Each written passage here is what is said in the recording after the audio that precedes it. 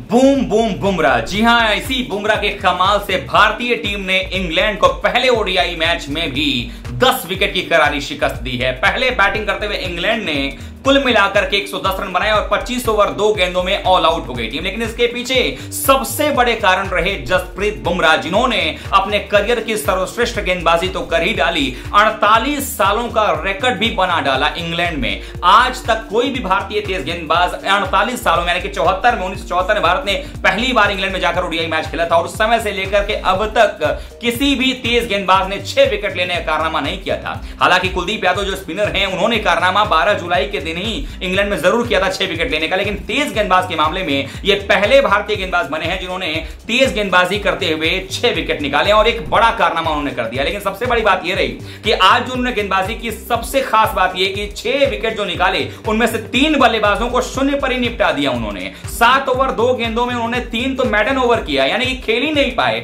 उन्नीस रन देकर के छह विकेट हासिल किया और इसी के साथ साथ एक और रिकॉर्ड उनके नाम हुआ। वो रिकॉर्ड ये रहा कि उन्होंने भारत की तरफ़ से इंग्लैंड के खिलाफ सबसे शानदार गेंदबाजी करने का जो रिकॉर्ड है, वो भी अपने नाम कर लिया। इससे पहले तेईस रन देकर छह विकेट आपको याद होगा। आशीष नेहरा ने हासिल किया था और वो वर्ल्ड कप का मैच था 2003 में। लेकिन अब जो है 19 रन देकर छह विकेट हासिल कर लिया है जसप्रीत बुमराह ने। ये दिखाता हुआ, ये कमाल जो बुमराह ने किया है, इनकी गेंदबाजी जिस तरीके से चल रही है, आने वाले समय में तमाम जो बल्लेबाज वर्ल्ड क्रिकेट के हैं, वो खौफ खाएँगे बुमराह को। फेस करते वक्त में। लेकिन वाकई में बुमराह ने 48 सालों का जो सूखा था तेज गेंदबाजों का छह विकेट निकालने का, वो कारनामा करके दिखाया है। आखिरकार आपको बुमराह की गेंदबाजी कैसी लगी है? और आप क्या सोचते हैं कि बुमराह का सामना आने वाले मैचेस में क्या इंग्लैंड के बल्लेबाज कर पाएँगे? या उनके पैर जो है वो थर थर कांपने वाले हैं? कॉमेंट करके बताइएगा। वीडियो को लाइक कीजिएगा चैनल सब्सक्राइब नहीं किया तो ज़रूर कर लीजिएगा।